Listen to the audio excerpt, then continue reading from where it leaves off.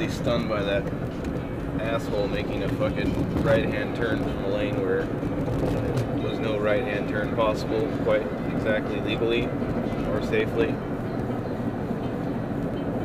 I fucking hate people. Especially when they're in their vehicles and they can't drive.